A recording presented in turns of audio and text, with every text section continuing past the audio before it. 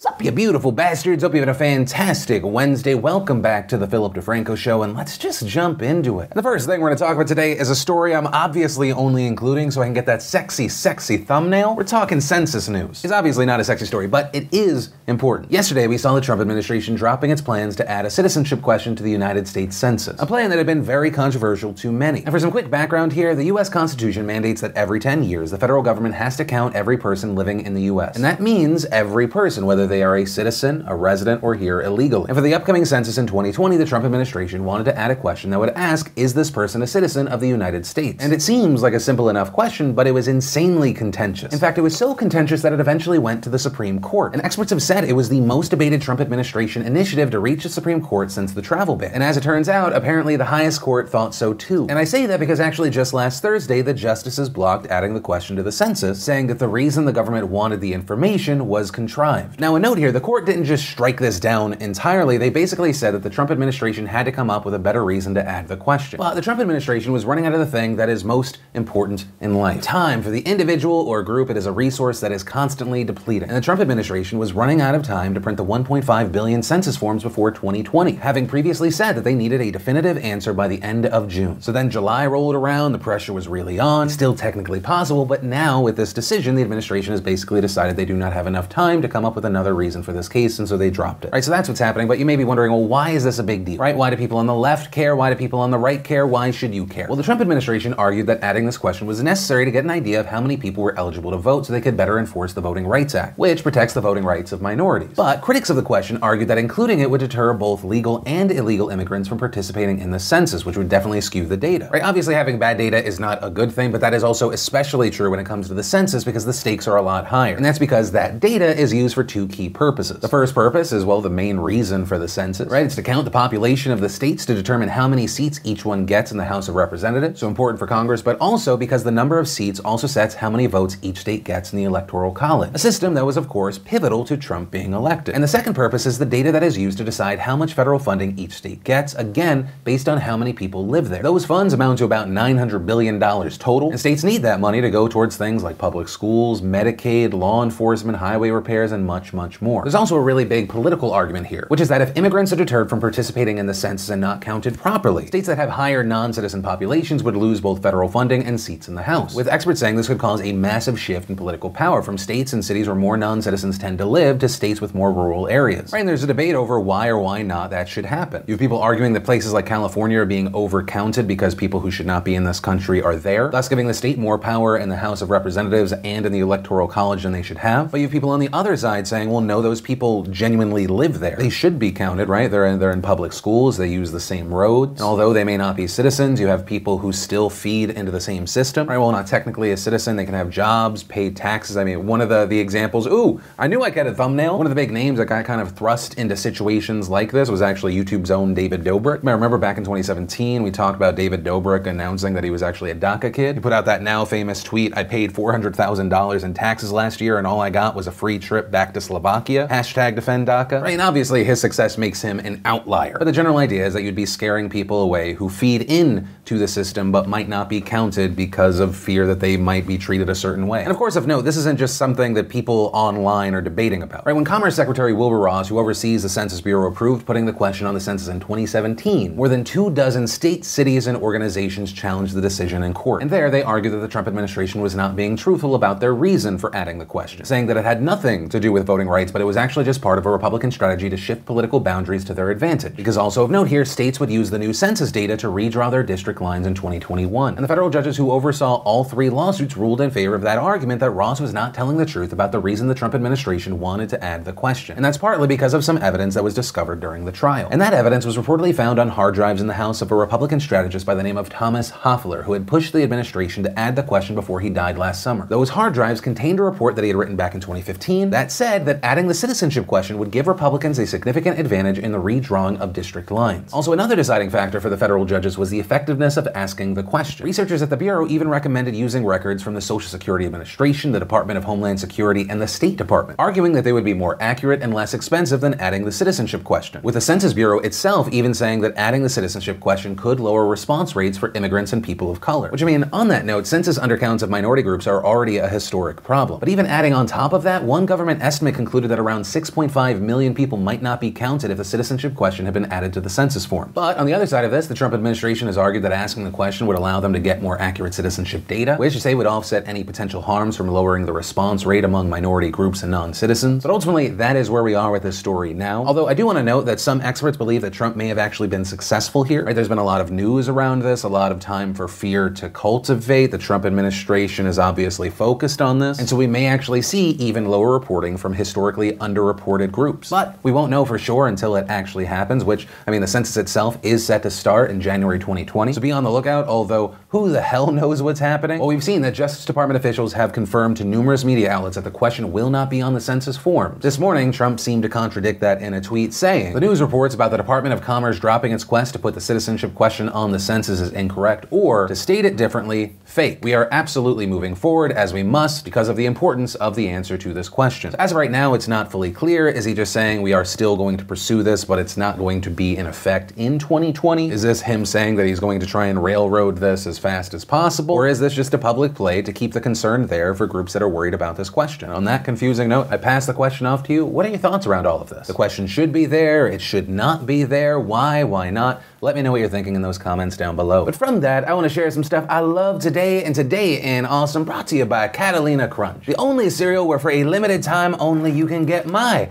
dumb face on the bag. And this is their cinnamon toast cereal. It is their best selling. It's also my personal favorite. Perfect for those looking to keep breakfast tasty but also healthy. Which on that note, it is low carb, zero sugar, keto, and paleo friendly, vegan, and non-GMO. And so if you want to try it out, you can just click the link in the description down below or go to catalinacrunch.com slash DeFranco and then enter in code DeFranco at checkout for 10% off a bag or two. And also very awesomely, 5% of all proceeds will go to feedingamerica.org. And the first bit of awesome today, I kind of just got to give a shout out to my guy Gary Vee. I say my guy, I've maybe met him twice. One, if you're an entrepreneur or you just need something to stimulate some brain juices, whether you like it or not, I highly recommend his channel. And two, I kind of just got to show him love because he sent me his brand new sneaker that he came out with, Gary Vee 004s. Gary, if I'm being honest, I hated the shoes before. These are amazing. And I know you probably sent it to me not expecting anything or at most, you know, a few hundred dollars worth of promotion on an Instagram story. You know, I'm a believer in one of the things that you preach, which is give more than you get. Yeah, if you want to snag these or just check out Gary, link down below. Then we had the Action Lab giving us pouring lava on aerogel. Will it burn? We had Asian Boss giving us street interviews of how do Koreans feel about Trump crossing into North Korea. We had How to Drink giving us Stranger Things has me ranting about 80s movies with an extra weird drink. Netflix gave us Tan France and Miranda Sings almost getting married. We had some of the cast of Stranger Things answering the web's most searched questions. Then our Phil.Chrono.gg partner game of the day today is Evil Bank Manager. It's a well-reviewed, unique economy strategy sim. And best of all, if you snag it using our link before 9 a.m. tomorrow and or while supplies last, you can get it for 50% off just $5.99. And if you want to see the full versions of everything I just shared, the secret link of the day, really anything at all, links as always are in the description down below. Then very briefly, we should talk about Boeing being in the news. Boeing, a company that made $101.1 billion last year and whose 737 MAX 8 planes have been grounded worldwide. This after two of them crashed in a relatively short amount of time, killing 346 people, have announced that they are pledging $100 million to those affected by the crashes. The families and communities, their chief executive saying in a statement, We at Boeing are sorry for the tragic loss of lives in both of these accidents, and these lives lost will continue to weigh heavily on our hearts and on our minds for years to come. The families and loved ones of those on board have our deepest sympathies, and we hope this initial outreach can help bring them comfort. And the money will reportedly be used to, quote, support education, hardship, and living expenses for impacted families, community programs, and economic development in impacted communities. With Boeing reportedly saying that it would work with local governments and nonprofit organizations to distribute the funds. So there is that. I, am personally very cynical about all of this. I wonder, given the way that they're giving away the money, if this is going to count as kind of like a tax write-off. I also think that it's important to note that they're announcing all of this while they're also facing lawsuits where people are suing them for millions of dollars, while also at the same time being investigated by authorities. You've got interviews of former Boeing employees talking about a culture of cost cutting, a culture of profitability over reporting plane defects to upper management. And so ultimately, I think that's why for me it feels like this is just kind of PR, right? Seemingly an acknowledgement of responsibility, but it, it feels like it's being done in a way to just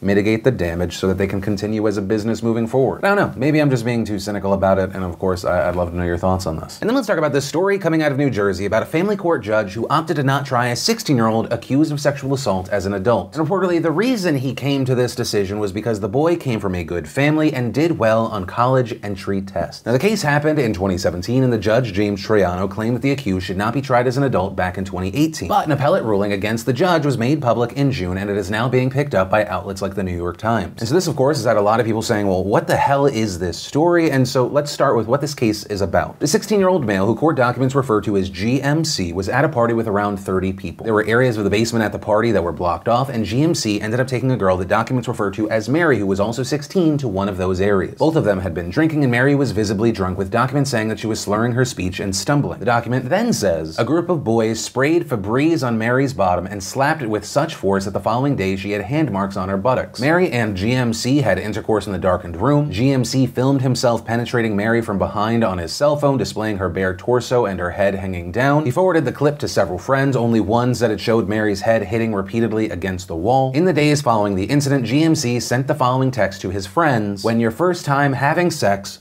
was rape. GMC's friends then told Mary's friends that she was ill, as after the incident she was on the floor vomiting. And the next morning, Mary told her mother that she was afraid something may have happened to her at the party because of the marks left on her and she noticed that her clothes were torn. And over time, she learned about the video that GMC recorded. At this point, Mary just wanted the video to be deleted so she could put the whole situation behind her. But when she tried to talk to GMC about it, he denied recording the video and said that people were lying to her, which then prompted her mother to contact the authorities. Investigators reportedly urged GMC to delete the video, which he and his friends did, and then Mary and her family pursued criminal charges. With a prosecutor saying they had probable cause to charge for aggravated sexual assault, invasion of privacy, and endangering the welfare of a child. And when the prosecutor was seeking to elevate the charges against GMC to adult criminal court, they wrote in a waiver GMC's conduct as it relates to the charged offenses was both sophisticated and predatory. Filming a cell phone video while committing the assault was a deliberate act of debasement. And in the months that followed, he lied to Mary while simultaneously disseminating the video and unabashedly sharing the nature of his conduct therein. This was neither a childish misinterpretation of the situation nor was it a misunderstanding. GMC's behavior was calculated and cruel. However, Judge Troiano issued a denying waiver, saying that he thought that this was not a quote traditional case of rape, which he described as something like quote two or more generally males involved either at gunpoint or weapon, clearly manhandling a person. He also said he found it unclear if Mary was really so drunk that she was unaware of what was going on. And as far as the text messages GMC sent, the judge said he thought it looked like quote just a 16-year-old kid saying stupid crap to his friends. With Judge Troiano also going on to say, this young man comes from a good family who put him into an excellent school where he was doing extremely well. He is clearly a candidate for not just college, but probably for a good college. His scores for college entry were very high. He also later added that Mary and her family need to consider what effects this would have on GMC's life. So there was that, and then of course there was the appeal from June. And that appeal said that it seemed that Judge Troiano did not fully assess the case and said that it, quote, sounded as if he had conducted a bench trial on the charges rather than neutrally reviewed the state's application. And adding that the juvenile came from a good family and had good test scores, we assume would not condemn the juveniles who do not come from good families and do not have good test scores from withstanding waiver applications. Right, so essentially saying, what does it matter what GMC's parents like do for a living or who they are as people or